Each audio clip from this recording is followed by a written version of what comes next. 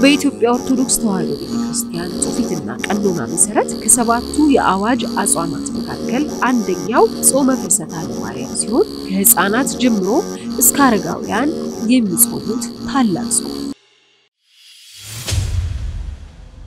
እመቤቴ ማርያም ምን ሆናለች? አንገቷን ሰብራ ታለቅሳለች። ብታለቅስ የወል ቀሚስ በሰበሰ ብታነባ አብቅላ አደረች ጽጌ አበባ። ያን አበባ አስረው ገረፉት እንደ ሌባ ይግረፈኝ ሐሰት በቃሉ ላይ ይገኝ ጽጌ ሰላም ከሺህ ዓመት በፊትም አባቷ ዳዊት በወርቅ ልብስ ተጎናጽፋና ተሸፋፍና ንግስቲቱ በቀኝህ ትቆማለች ሲል የተናገረው ትንቢት ይህንኑ የእመቤታችንን ክብር የሚያመለክት ነው። ፊ ሰንብታ ሰንብታ መጣች ለፍልሰታ አገርሽ የት ነው ኤፍራታ? ባትሽን ኮይ የወረድሽበት በረሃ ወልልሽን አይዝለሽ እንደ ጽኑ ድሃ ብትለምኝ ለነፍስሽ ውሃ ጽጌ ሰላም ብትለምኝ ለነፍስሽ ውሃ ጽጌ ሰላም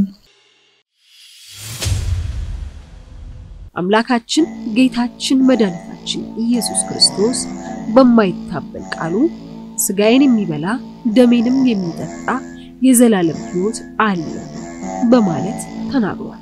የእግዚአብሔር ቸርነት፣ የእመቤታችን የቅድስት ድንግል ማርያም አማላጅነት፣ የቅዱሳን ሐዋርያት ጸጋና በረከት አይለየን።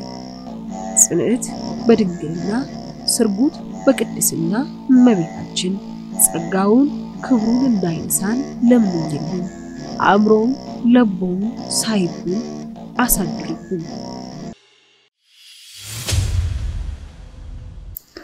ኪዳነ ምሕረት ሩት ያታቁሚኝ ከበሩ የሲኦል አለንጋ መራራ ነው አሉ። አንቺ አማልጅኝ እግዝእተ ኩሉ ዘጌ ሰላም አንቺ አማልጅኝ እግዝእተ ኩሉ ዘጌ ሰላም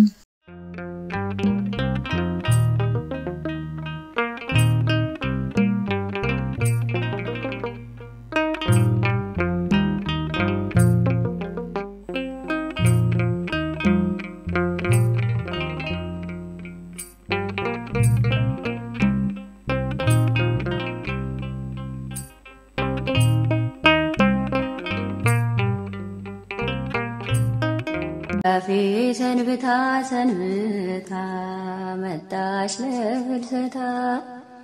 አገርሽ የት ነው ኤፍራታ?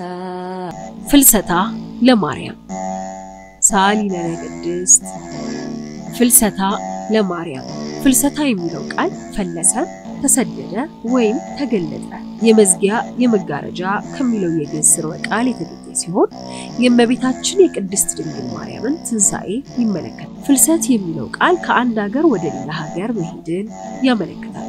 ፍልሰታ ለማርያም ሲባልም እመቤታችን ቅድስት ድንግል ማርያም ካረፈች በኋላ ከጌቴ ሴማኒ ወደ ገነት መሰደዷን ወይም ማረጓን በኋላም ስጋዋ በገነት በዕፀ ሕይወት ስር ከነበረበት መነሳቱን ለማመልከት የሚነገር ነው።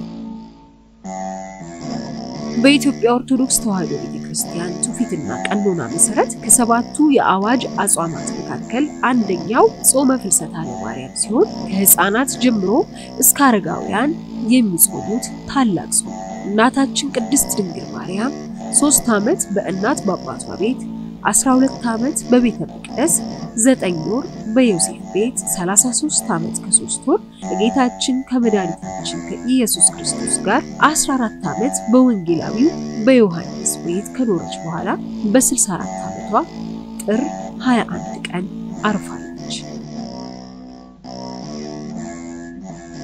በሐዋርያት ውዳሴ ዝማሬና ማህሌት ነሐሴ 14 ቀን ከተቀበረች በኋላ እንደ ሌሎቻችን ትንሣኤ ዘጉባኤን መጠበቅ ሳያስፈልጋት ነሐሴ 16 በልጇ ስልጣን ተነስታ በይባቤ መላእክት ወደ ሰማይ አድርጋለች።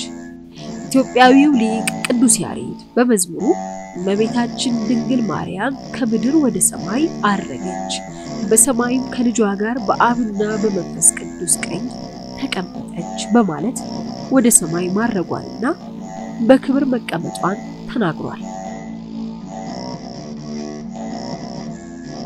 ከሺህ ዓመት በፊትም አባቷ ዳዊት በወርቅ ልብስ ተጎናጽፋና ተሸፋፍና ንግስቲቱ በቀኝህ ትቆማለች ሲል የተናገረው ትንቢት ይህንኑ የእመቤታችንን ክብር የሚያመለክት ነው። የእመቤታችንን የትንሣኤና የዕርገት ትምህርት መሰረት በማድረግ የኢትዮጵያ ኦርቶዶክስ ተዋሕዶ ቤተክርስቲያን ሊቃውንት ከነሐሴ 1 እስከ 15 ቀን ያለውን ሁለት ሱባኤ ከሰባቱ አጽዋማት አንዱ ሆኖ በምዕመናን ዘንድ መጾም እንደሚገባው ስርዓት ሰርተውለታል። ይኸው በፍትሐ ነገሥት አንቀጽ 15 ላይ ተመዝግቧል።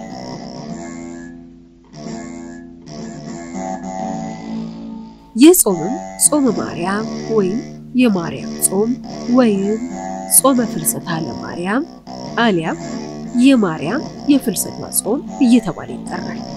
በጾሙም መጨረሻ የእናታችን የእመቤታችን የቅድስት ድንግል ማርያም ትንሣኤ ይከበራል።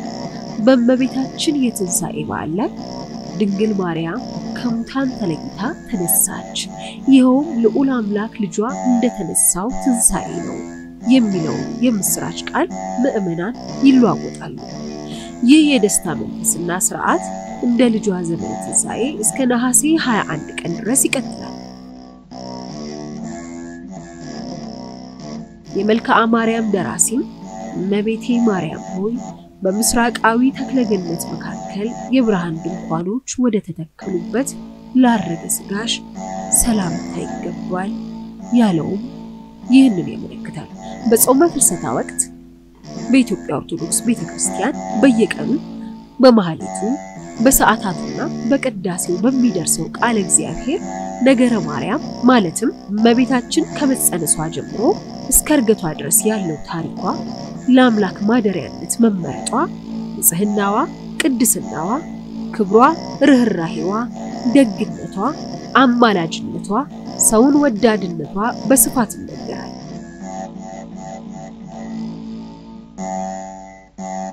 እመቤታችንን ከሚያወድሱ ድርሳናት መካከልም በተለይ ሚስጥረ ሥላሴን፣ ሚስጥረ ሥጋዌንና ነገረ ድህነትን ከነገረ ማርያም ጋር በማዛመድ የሚያትተው ቅዳሴ ማርያም እንደዚሁም ነገረ ድህነትን ከሚስጥረ ሥጋዌ ወይም ከነገረ ክርስቶስና ከነገረ ማርያም ጋር በማመሳጠር የሚያትተው ውዳሴ ማርያምም በስፋት ይጸለያል፣ ይቀደሳል፣ ይተረጎማል። በሰንበታት የሚዘመሩ መዝሙራት፣ በየዕለቱ በቅዳሴ ጊዜ የሚነበቡ የመጽሐፍ ቅዱስ ክፍሎችም እመቤታችን ቅድስት ድንግል ማርያም በእግዚአብሔር ለተዋህዶ መመረጧን፣ ዘላለማዊ ድንግልናዋን፣ ክብሯን፣ ቅድስናዋን፣ ንጽህናዋን የሚያወሱ ናቸው። የእመቤታችን ንጽህና የነገረ ድህነት የጌታችን ቤዛነት መነሻ መሰረት ነውና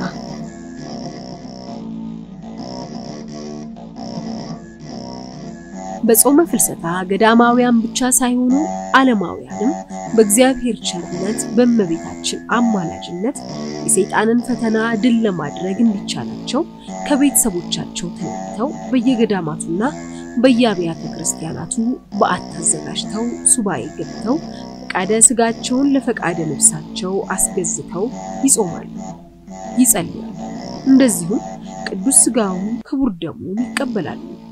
ይህ ጾም ለእመቤታችን ያለንን ፍቅርም የምንገልጽበት ወቅት ነው። በተለይ ኦርቶዶክሳውያን ሕፃናት በአብዛኛው ትምህርተ ወንጌል የሚማሩበት ቅዱስ ሥጋውን ክቡር ደሙን የሚቀበሉበት በዚህ በጾመ ፍልሰታ ነው።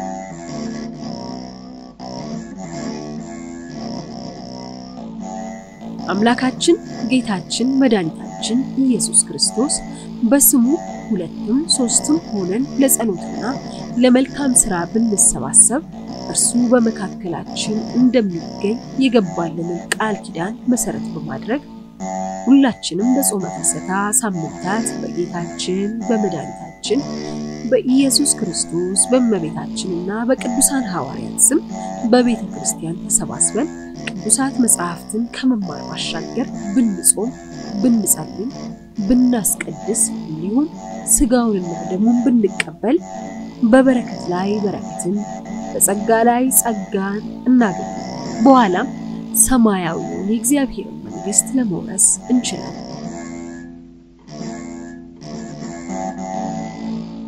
በጾመ ፍልሰታ በተለየ መልኩ ከሚነበቡ ከሚተረጎሙ ቅዱሳት መጽሐፍት አንዱ ውዳሴ ማርያም።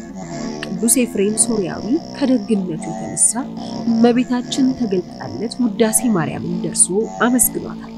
ምስጋናውም በሰባቱ ዕለታት የተካፈለ ሲሆን እመቤታችን በዚህ ምድር በሥጋ የኖረችበትን ዘመን ያጠይቃል። የኢትዮጵያዊው ሊቅ ቅዱስ ያሬድ ደግሞ በእያንዳንዱ ምዕራፍ መጨረሻ ሰአሊ ለነ ቅድስት ቅድስት ሆይ ለምኝልን የሚለውን ጨምሮበታል። ሰአሊ ቅድስት ተብሎ በአይኑ አ ሲጻፍ አእምሮውን ለቦውን ወይም ማስተዋሉን ሳይብን አሳድሪብን ማለት ነው። ሰአሊ ለነ ቅድስት ተብሎ በአልፋው አ ሲጻፍ ለምኝልን ማለት ነው። ስለሆነም ኦርቶዶክሳዊት ቤተ ክርስቲያን ከታወቁ የሕግ ምንጮች ከቅዱሳን አባቶቻችን በተማረችው መሰረት ሰአሊ ለነ ቅድስት ሰአሊ ለነ ቅድስት እያለች እመቤታችን ከተወደደ ልጇ ትለምንልን ዘንድ በጸሎትና በምልጃ ታሳስባለች።